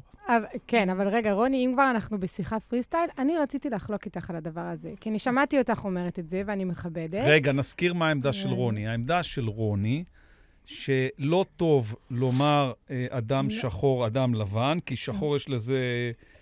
אה, קונוטציה קונוטציה שלילית, אז ולבן אני- כן, כן. אז רוני מעדיפה להגיד כהה עור ובהיר עור. אז, אז אני רק, אז אני, אמ, היה לי פעם דיון עם אה, דני אדמסו, שאת בטח כן, אה, מכירה, כן. שחוקר אה, גזענות בין היתר, והוא גם משורר, אה, ודיברנו על זה. והוא גם אתיופי, נכון? נכון. הוא גם אה, ישראלי אתיופי, כן. ודיברנו על זה, על איך נכון לקרוא, עשינו שיחה בהקשר אה, אמריקני. ו... והוא אמר לי, לא צריך uh, להתבלבל, אפשר או חום או שחור. אני נוהגת להגיד שחור דווקא כדי לא לנסות להתפלפל עם כל מיני מילים אפרו-אמריקני, שחור, לבן, זהו, נגמר הסיפור. אז אני אעשה סדר, כי אה, מאז שהתחלתי לכתוב על זה, כותבת על זה הרבה, על ה- על השפה ועל הכוח של השפה, שהיא בוראת מציאות ויוצרת מציאות. אז חשוב לי להבהיר שאין לי בעיה עם המילה שחור, ואני אומרת על עצמי שאני שחורה, וזה בסדר, אלדד. אני לא חושבת שצריך להגיד כל הזמן כהה עור או חומים. יש לי בעיה עם ביטויים שלוקחים את המילה שחור והופכים אותה תמיד לשלילי. למשל. וזה נקודה שחור חשובה. בעיניים. יום שחור, נעשה לי שחור בעיניים. זה אני מבין. חתול שחור, אה, ספטמבר השחור, אפילו ה- ה- כשקראו נכון, לזה כן, ספטמבר כן, השחור, אני זה מסכים. תמיד מגיע, גם אפילו המשטרה, כשהיא קוראת לאיזשהו מבצע, אז היא אומרת רשימה שחורה. כלומר, הכל לא תמיד הולך חשבתי על זה. לכיוון אני השחור. מודה לך על זה, אני לא אז, חשבתי על אז זה. זה הנקודה שאני, חשוב לי להבהיר אותה, וזו הנקודה שאני רוצה שאנשים ישימו לב כשהם מדברים, וכשהם אומרים, כשאני קוראת ספר לילדה שלי, שהיא בת חמש, ואני פותחת את הספר, ספר בעברית, ואני רואה שאימא קמה בבוקר ואומרת, זה ספר מפורסם, אני לא זוכרת את שמו, קמה בבוקר ואומרת, היום היה לי, היא מדברת על, עם הילד שלה ואומרת, היה לי יום שחור, וכשאת הופכת את הדף, כל העמוד צבוע בצבע שחור, איזה מסר זה מעביר לילדים? לנו יש את היכולת ליצור את ההבחנה הזאת, ולהבין שלא מדברים ככה וזה, ולנסות וככה, לנסות לשנות משהו אצלנו, ואנחנו יכולים לעשות את זה. לי יש מספיק עמוד שדרה, יש לי מספיק ביטחון עצמי, כי אני כבר אישה גדולה, כבר עברתי דבר או שניים בחיים, וזה לא יפריע לי באופן אישי אם ידברו ככה, אבל אני רוצה את זה בשביל הילדה שלי, אני רוצה את זה בשביל האחיינים שלי, אני רוצה את זה בשביל אנשים כאור, בעיקר ילדים שגדלים לעולם כזה, וכשהם רואים ספר כזה, וכשהגננת שלהם מדברת בצורה כזאת, וככה היא מספרת את הסיפור, מה הם מבינים? שצבע העור שלהם, שהצבע השחור הזה הוא תמיד שלילי, הוא אף פעם לא חיובי. תיקחו למשל את הצבע הלבן, תמיד מגיע מהמקום הטהור והמלאכי והיפה. כל פעם כשאני מדברת על זה, אז אנשים אומרים לי, אבל רגע, רגע, מה זה להלבין, להלבין את פניו, או להלבין כספים? אז אני אומרת, נכון, אבל זה שני ביטויים, לעומת 20 ביטויים, שתמיד הצבע השחור הוא נמצא בצד השלילי. וגם כשלוקחים את הלהלבין כספים, דיברנו קודם על עורכי דין, זה מהעולם הזה המשפטי, להלבין כסף. גם פה זה חיובי, כי כשאתה לוקח הון שחור, תמיד זה הון לא חוקי, ואתה לוקח אותו, וכשאתה רוצה להפוך אותו לחוקי, אתה מלבין אותו. טוב, אתה עושה את הפעולה של ההלבנה. טוב. אז זו הנקודה שחשוב אני לי להגיד, וסליחה. שלקחתי לך את הבמה. לא, לא, לא, לא לקחת, אנחנו ביחד, את לא כן. לקחת לי שום דבר שהוא, שהוא שלי, ואני גם מודה לך על מה שאמרת, כי אני, אני לוקח שני דברים. אחד, זה בסדר שאני אה, רואה באדם שחור אדם שחור, נכון, בהנחה שאני מנקה את עולם הדימויים הבלתי מודע שלי. בדיוק. אה, וזה למשל לא פוגע בהומור. נכון. רגע, אני רוצה לחזור ולדבר איתך על, ה... על הצנזורה שאומנים מטילים על עצמם. כולל אני על עצמי, כן. אה, כולל אתה על עצמך כנראה, אני לא יודע, אני לא בטוח בזה, כי אני דווקא זוכר שאתה מאוד מאוד מתבטא פוליטית. כן, אבל כשאני רוצה להביא קהל אה, להופעה, כן, אני אבל- מאוד נזהר אה, במה שאני שם ברשתות. נכון, נכון, אבל זה קל לגייס אותך. אה, כן, כן, זה ברור. אני גייסתי אותך כמה פעמים לסרטונים פוליטיים, ואתה מביע דעתך ואין לך בעיה עם זה, ואתה משלם על זה מחירים. הייתה פה אה, עדי ששון, אני חושב, לפני איזה פרק אחד או שניים, אחד. ו- והיא סיפרה על הקשיים שלה. אה, בפריפריה אומרים לה שהיא השתכנזה. בתל אביב אומרים לה שהיא בהמה.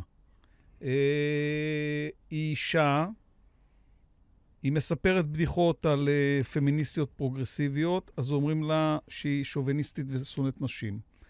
אה, היא מספרת בדיחות על דתיים, אז אומרים לה שהיא השתכנזה, היא מספרת בדיחות על חילונים, אומרים לה שהיא, עוד פעם, שהיא בהמה.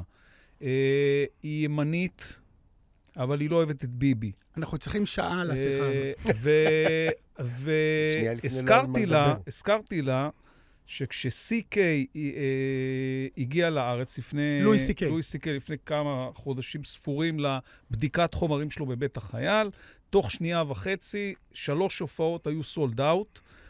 כמעט כל האנשים באולם, כי אתה רואה את זה, בית החייל, זה באמת אולם מאוד קטן.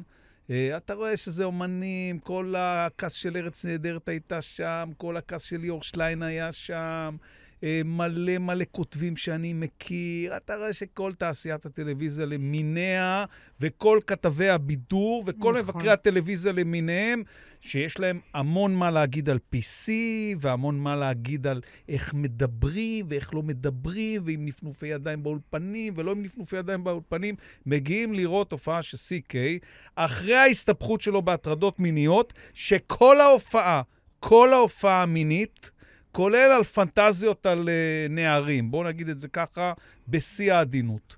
כן. כן. וכולם מתגלגלים, מה זה מתגלגלים? אני לא מצליח לשמוע את ה... את ה את, לא מצליח להבין את האנגלית מרוב הרעש בתוך האולם. אתה יודע, זו אנגלית שצריך לעקוב אחריה. אה, זה לא שפת אם שלי אנגלית. ו, ואתה אומר, אם אומן ישראלי היה משמיע טקסט כזה, כל האנשים שיושבים באולם היו שוחטים אותו לאלף חתיכות. נכון, נכון. עכשיו, מה זה סטנדאפ? סטנדאפ זה משהו שאתה רוצה לבוא וגם לנוע בחוסר נוחות, כי זאת האומנות, זה ה... או שאתה רוצה לצחוק על דברים שאתה צוחק עליהם בחדרי חדרים. לא בחדרי חדרים, יש פה, יש פה פטנט.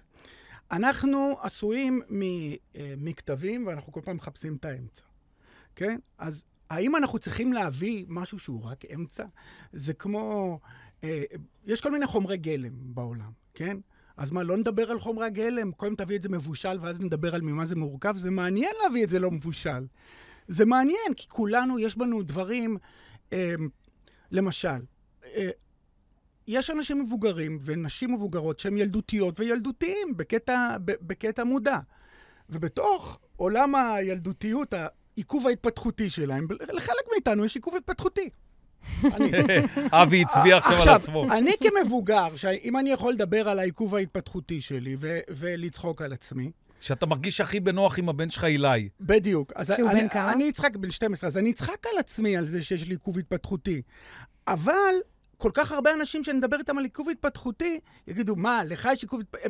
הכל נורא סגור, לך אין עיכוב התפתחותי. ויש לי מישהו שאני מכיר שהוא עיכוב התפתחותי. וזה לא PC לדבר ואתה על לא זה. יכול לדבר על אנשים עם עיכוב התפתחותי. יש פה, חבר'ה, יש פה הרבה הרבה דברים, אבל הבעיה בישראל, שקשורה לתרבות וקשורה להכל בעיניי, היא שאין יותר יכולת להכיל מציאות מורכבת. שמה זה אומר? תנסה לפרט את זה. תיקח את הרשתות החברתיות, כן? אתה בתור אה, בן אדם פוליטי, לפעמים בתור פרשן פוליטי, אתה צריך לבוא ולתת את ה one liner שלך. נכון. עכשיו, העולם לא בנוי מ pitching. העולם הוא לא כזה ענייני באמת. הפכו אותו לענייני, ומי שלא מסוגל על ה one להיות ענייני ונורא קוהרנטי, הוא אה, מבלבל במוח, הוא מזבל את השכל. כשמהותית, הדברים שאנחנו צריכים כחברה, שיפתחו אותנו ויגרמו לנו לגשר על פערים, ויגרמו לנו להיות מאוחדים, זה להבין מציאות מורכבת. קחו את הדוגמה הכי, הכי אה, ברורה ב- ב- ב- ב-80 שנה האחרונות, הסכסוך הישראלי-פלסטיני. אוקיי. מה אומרים? אין כזה דבר פלסטינאים, מה, מי אלה פלסטינאים? עכשיו, זה שלושה מיליון אנשים, לטרנסג'נדרים אנחנו אומרים, אם הוא רוצה להיות אישה סבבה, פלסטינאי אתה לא יכול להיות. מה אתה, אין כזה דבר.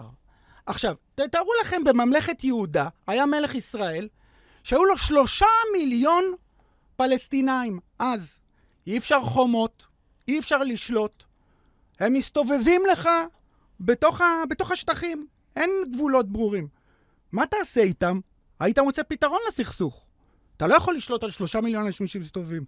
אנחנו הצלחנו לעשות את זה, אבל כל סכסוך, מי שמבין קצת בהיסטוריה, אני, לימדו אותי את זה. מי שמבין קצת בהיסטוריה יודע שסכסוכים תמיד נפתרים בסוף. שאלה, תמיד. גם, גם אירלנד ובריטניה זה לקח שאלה 400 שנה וזה נפתר. כמה דם. שאלה נכון. כמה דם. אז לבוא ולהגיד, יש סכסוך, אבל אין פלסטינאים, זה תוצאה של תרבות שלא מקבלת מציאות מרובדת. אז, מציא... אז אני, סליחה, אני רוצה קצת לחלוק איתכם על זה. אנחנו, זה נכון ולא נכון. אני מסכימה שיש צנזורה עצמית. אני חושב שזה או נכון או לא נכון, עכשיו תבחרי באיזה. צד את. אז, אז זה בדיוק זה. ש, שהצנזורה שאתה מדבר עליה, שהאומנים מטילים על עצמם, אני חושבת שנגיד, זה חל על יותר אה, רבדים בחברה מאשר אומנים. למשל, אני כעיתונאית מאוד מצנזרת את עצמי. מקבל? אה, בהרבה מאוד דברים שאני אכתוב ברשתות החברתיות, או יותר נכון לא לכתוב. אגב, זה גם יכול להיות דברים לא פוליטיים, אלא בדיחות על הילדים שלי, שיש לי איזה קבוצת אה, וואטסאפ של חברים, שאם אני רוצה לעשות בדיחה שהיא קצת יכולה לא להתקבל טוב, אני אעשה איתם, והם אומרים לי, לא לצייץ. למשל.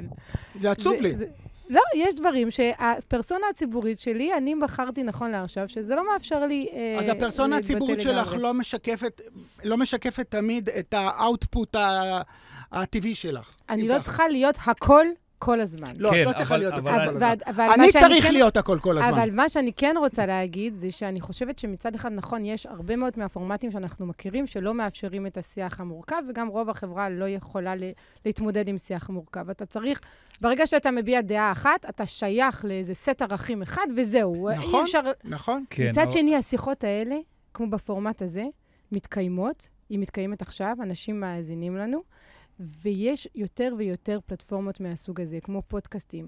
וזה מראה לי, זה נותן לי לפחות את התקווה, שיש גם את הדרישה הזאת. אני- אנשים אני- רוצים לחזור אני- לשיחות. אני אגיד לך מה אני חושב על ה... על אחי, ה- סליחה על רגע על ההפרעה, אחי, מתנתקות לי האוזניות. אה, עומר, עומר, עומר, תסדר לו בינתיים את האוזנות בזמן שאני אני יכול כופר. גם בלי אוזניות. תראי, אה, כן, אני מנסה. אה, תמשיך, תמשיך. בפינלנד יש אה, ממשלה שמקדמת עכשיו אפשרות להיכנס לנאט"ו, לא להיכנס לנאט"ו בעקבות המלחמה באירופה. שזו סוגיה, ש- כדי שפינלנד תיכנס לנאט"ו, זה כמו הפרדת דת, דת ומדינה בישראל, זה, זה החלטה הכי דרמטית. ועדיין ראשת הממשלה יכולה ללכת לפסטיבל רוק ולהתלבש כמו שמתלבשים בפסטיבל רוק. וכשרבין היה הולך לבקר בצבא, הוא היה הולך עם בגדים של צבא. לא בגלל שהוא לא דמוקרט, אלא בגלל שזה מלא חול ומלא אבק, וזה מגוחך, בעיניי זה היה מגוחך לראות את בנט, שהוא חייל קרבי וקצין קרבי, הולך למפגשים עם חיילים בשטח, שהכל מלא אבק, והולך עם חליפה. עכשיו, הצנזורה שאת מטילה על עצמך, כי את אומרת, זה מה שהציבור רוצה. אני לא יודע אם זה מה שהציבור לא, רוצה. זה מה זה שאני מעולם, רוצה. מעולם לא זה- נבחן. אני חושב שאם אנשים שהם חזקים, אם שלמה ארצי לא היה מפחד, ממה יש לו לפחד? הוא ממלא את קיסריה. הוא לא צריך לפחד מלהביע עמדה פוליטית. ברי סחרוב לא צריך לפחד מלהביע עמדה פוליטית. השחקנים האלה שהלכו עכשיו ל... ל... שעכשיו אני רוצה להראות צנזורה הפוכה. אוקיי, אה, אה, כשאתה שמאלני, האם אתה לא הולך לפסטיבל סרטים בשומרון? אני לא יודע. אולי אתה כן הולך ומציג שם סרטים שמראים את ה... את אבל ה... לא יציגו אותם, את הסרטים אוקיי, האלה. אבל אולי כן עושים את זה, כי כן גרים שם אנשים וצריך לשנות את דעתם, ותרבות זה תמיד דבר טוב. תראה, יש לי הרבה דברים אה, להגיד על אז אני חושב על שה- שמאלנים. לא- יש לי הרבה דברים לא טובים להגיד על שהמציאות שמאלנים. היא מורכבת. היא מורכבת גם, אני חושב שאנשים, שמה שאנשים היום יותר מחפשים, ו- ואנשים חזקים לא נותנים לאנשים את הסחורה הזאת, זה להיות אנשים יותר אותנטיים, ולא שלמים. יש בלבול, העולם ו- מבולבל. ולא זה, והדבר הזה כן תופס. אבל אתה לא חייב להיות הכל כל הזמן בגלל שיש רשתות חברתיות. אני לא יכול הרי להיות- יש אנשים שהם אנשים פרטיים גם באופי שלהם, וזה לא, לאו דווקא לא בגלל בא. מפחד. זה לא, אני אומרת, אתה אומר, למה שלמה ארצי לא חושף את הדעות שלו, ממה הוא מפחד, הוא ממלא את קיסריה? אולי זה לא בא מפחד, אולי זה לא מי שהוא הוא רוצה לשיר. אני חושב שהוא יודע לעשות. עם מי יש לו עסק. קודם הוא כל, בן אדם מאוד פוליטי. קודם כל, אני יכול אול- לאשר קודם כל אולי, במהות. אבל אם הוא בן אדם פוליטי, הוא צריך להביע דעתו, בדיוק כמו שבאמריקה, זמרים ושחקנים לא מתביישים להביע עמדה בתמיכה בטראמפ, חלקם תמכו בטראמפ, או במועמד הדמוקרטי. הם לא מתביישים בדבר הזה. אני חושב ש- שאנשים חזקים יכולים להיות יותר אמיצים. אם הקטע שלך אומר, אני בלבלה, לי אין ממש דעה פוליטית, אני לא בעניין הזה, סבבה. אבל אם יש לך דעה פוליטית, תביע אותה. אם יש לך דעה מוסרית, תביע אותה. אם, אה, אם יש לך, אה, נניח, ראיתי עכשיו מה שעשו ליובל דיין. ראיתי אומנים שמתנפלים עליה, ואז שאלתי את עצמי, אם הם היו פוגשים את אה, ראש ממשלת הודו, או את ראשת ממשלת הודו, הם היו מתגאים בזה שהם לא לוחצים ליד, אלא שהם לוחצים ל... כן, אבל היה לחיצה ציפיות. מזרחית. היה תיאום אז ציפיות. אני חושב ששיחה היא יותר מורכבת, ו- ולא קרה שום דבר, ומותר לבן אדם, הוא יכול להיות ליברל, ועדיין להחליט שהוא שומר נגיעה, והכול בסדר, ולא קרה שום דבר. אני כמה פעמים בחיים שלי, אני לא ביידן, אבל כמה פעמים בחיים שלי הושטתי יד לאישה דתייה, היא לא לחצה לי יד, לא הובכתי, לא קרה שום דבר. אמרתי לה, וואלה, לא שמתי לב שאת דתייה, את לא תאמיני, למרות שאת עם כיסוי ראש. אני בן אדם חילוני, אז לא בדיוק חיברתי אחד לאחד. הפאה ממש מחמיאה לך. או, זה אסור להגיד. יש, יש מדיניות, יש מדיניות של. אה, אנשים, בלי קשר דרך אגב, כן יובל דיין, לא יובל דיין, כן ביבי, לא ביבי, אה, כל ה... זה, יש מדיניות של אנשים שמחפשים דם, ומחפשים לינצ'ים. עכשיו, את, איפה זה מתחיל? עזוב רגע מה שלמה ארצי חושב. תאר לך ששלמה ארצי יעלה תמונה של סטייק על מנגל ביום שישי אחרי הצהריים. נו, אז מה יקרה? אתה יודע מה יקרה? מה יקרה? יקומו עליו. מי יקום? למה אתה אוכל חיות? מי יקום? ולמה אתה... לא, מי עכשיו, יקום? אני, אנשים אני כנראה... תמיד אומר לאנשים שהם חושבים שהם עוברים לינץ' ב- בטוויטר, אני מציע להם לשים את הטלפון על מצב טיסה, נכון. לרדת למטה לרחוב ולגלות שאיש לא שמע על הלינץ' שמתנהל. בדיוק. לינץ' לא מתנהל ברשתות, זה אז- שטויות במיץ עגבניות. אה, קודם כל, יש אנשים שחיים ברשתות ובשבילם זה לא שטויות. שים את זה על מצב אין טיסה. בעיה, אתה צודק, אבל אני חושב שנהיה איזשהו אוטומט כזה של להגיב. דרך אגב, אפרופו מה שאמרת, אבי, על העניין של הפוליטיקלי קורקט. היום אנשים מצייתים לקצוות. זאת אומרת, נכון. אם אני היום, נגיד, לצורך העניין, נגיד, אתבטא בצורה אה, אה, מינית אה, אה, חריגה, לא ראויה, אני אחטוף ובצדק. רגע. אבל אם אני אעשה משהו שהוא יכול להיות לא הכי politically correct, אבל הוא גם לא כזה נורא, עדיין הקצוות יוליכו נגדי איזשהו סוג של קמפיין, והרוב יציית לו. עכשיו, אני מניח שיש אנשים שלא מסוגלים לעמוד בזה, זה רגע, הכל. עכשיו, אבי, לדעתך, כשאתה מסתכל על, אה, על אה, סטנדאפ אה, אמריקאי, על סטנדאפ, עכשיו יש הרבה בנטפליקס סטנדאפ אוסטרלי, שזה אנגלית יותר קשה לפענוח. תרבות יותר קשה יותר, הם לפענוח. הרבה יותר אמיצים. זה. בגלל שיש להם קהל יותר גדול, או כי כן. הם לא מעלים על דעתם לעשות סטנדאפ שהוא לא פורץ גבולות? יש לי תשובה טיפה מורכבת. כמו ש- תרכיב אותה. בארצות הברית למשל, שזאת מדינה עם אלמנטים מאוד שמרניים מצד אחד. כאילו, אומה שחלקה הגדול אה, לוקה בבורות מצד אחד. יש להם כמה ערכים שלפי דעתי הם נעוצים בחוקה שלהם, ש... שאנשים באמת יכולים ללכת, אם יש אפליה, הם יכולים, תיאורטית לפחות, ללכת לבית המשפט, יש להם קייס, כן? אצלנו לא רק שאין חוקה, גם במגילת העצמאות, היא לא עוזרת כל, לך כל כך. גם אם בית המשפט היה מכיר במגילת העצמאות, נכון, אין לך שם את המילה שוויון, יש לך את נכון. המילה חירות. נכון. ופה בעיניי הכל מסתבך. לא, יש שוויון מדיני גמור, אבל בש- בצורה שאתה מדבר, המילה היא לא שוויון, קיימת. המילה שוויון הוצאה. יש פה חירות לעשות את מה שאתה רוצה, מה, ש... מה שנהפך בעיקר מבחינה קפיטליסטית חזירית, סליחה שאני אומר. מי שיש לו כסף יכול לעשות עוד כסף, מי שאין לו כסף לא יכול לעשות בכלל כסף. יעבוד בשביל זה שיש לו כסף. בדיוק. אמ, אבל כל העניין פה של האקלים השיחתי וה, והתרבותי, הוא שאנחנו פה בהישרדות, אנחנו מדינה שכל הזמן מאיימים עליה, אנחנו מדינה שיש לה אתגרים, ובעצם מי שיכול לחולל שינוי בעניין הזה, סליחה על התשובה המאכזבת, זה דווקא הפוליטיקאים. משום שאנחנו בת- בתקופה מאוד מפולגת. מאוד מאוד מפולגת. אני גם יודע למה, אבל עזבו, אין לנו זמן. אנחנו בתקופה מפולגת, ומה שצריך לקרות כדי שלא נהיה מפולגים זה משהו שנשמע נורא נורא תמים.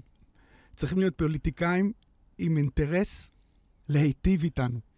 רגע, אבל אז עזוב רגע את הפוליטיקה, כי אני חושב ש... אין לעזוב, זה הכל פוליטי. לא, כי אני... גם מה שהיא מדברת עליו הוא פוליטי. אני אגיד לך משהו, פוליטי. תראה, בסוף אתה רוצה למכור כרטיסים, אז אתה מפחד לא. משהו... רגע, לא אתה, בסדר, אתה... אני רוצה למכור אתה כרטיסים. המושגי, אתה רוצה למכור כרטיסים, אז אתה לא רוצה לומר משהו בפייסבוק. פוליטיקאי רוצה להיבחר, אז הוא, הוא לא רוצה להיכנס למשהו שיאבד את הבייס שלו. לכל אחד יש אינטרס. בסוף כל אחד, כדי לתקן חברה, כל אחד צריך לשלם את המחיר, ולא להסתכל על השני ולהגיד לו, אתה נכון. יכול לשלם מחיר. אנשים חזקים בתחומם, בהייטק, בתרבות, בזה יש אנשים שפותחים קופה, היא נסגרת אחרי דקה. הם יכולים להרשות לעצמם לשלם יותר מחירים, להביע יותר עמדות. אתה היום אומן מאוד מאוד ותיק. זה, אני חושב שלא משנה כמעט מה תגיד, אה, אלא אם ת, תתמוך ב-BDS, אתה ועידן פותחים קופה, היא, זה סולד אאוט אחרי שנייה.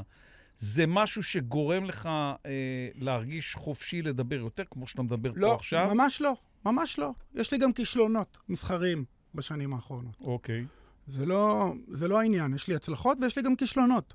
לא אוקיי. כל פיפ שאני עושה, נכון. אתה, מצליח. אתה אומר, השירים שלך, ההופעות שלך, לא כל דבר פוגע. לא כל דבר פוגע. ו... וזה זה בסדר, זה בסדר. אבל יש קורלציה עם דעה פוליטית שהבעת? לכישלונות או להצלחות? לא, אני, אני לא מאשים את ה... לא, אבל מה אתה מרגיש? אתה מרגיש אני, ש... אני מרגיש שלפני שאנחנו מדברים על סוגי אומנות, או מה פה לא מכבד, או משהו, זה לא העניין. אני חושב שזה לא, זה לא קשור לאם אם את עיתונאית או אני אומן. זה קשור לאקלים שלנו. אני חושב שגם האינטליגנטים בינינו, אני לא מוציא את עצמי מהכלל, אנחנו מאוד מבולבלים. יש פה משהו שאתה צריך תמיד לחתוך את האוויר במשהו שהוא מובן ומוצג, ואין זמן. אין זמן. יש פה איזה תכלס שלא מוביל אותנו לתוצאות מי יודע מה מדהימות. ואני, אבל אני שלא מאוד מאפשר לדבר על מורכבות, אני מבין מה שאתה אומר. עכשיו, עכשיו, בגלל זה, באופן אישי, ככה אני רואה את העולם. יכול להיות שאני one track minded, אבל אני, אני, ההיגיון האישי, הרגשי שלי אומר, שאם אין פה אקלים לשיחה על מורכבויות, it's going down, baby. טוב, איזה הופעה אנחנו מקדמים? הופעה ת- ש... ת- עכשיו יש לך הזדמנות לקדם את כל שלל ההופעות שלך. אתה באמת רוצה שאני, אחרי שהפלתי את הכל על הרצפה, אתה רוצה שאני... זה הזמן, מה זאת אומרת? זה הזמן. אנחנו- אנחנו מרימים. יום חמישי. במרכז עינב. אה, קדימה, הפועל. אני מופיע עם גם וגם. גם מה זה וגם- גם וגם? תזכיר למי שלא מכיר ולא יודע. גם וגם זה מופע של... אה, אני קורא לזה סיפורים. סיפורים דרך שירים ודרך סטנדאפ. שאתה ומי מופיע? אני ועוד אה, נגנים.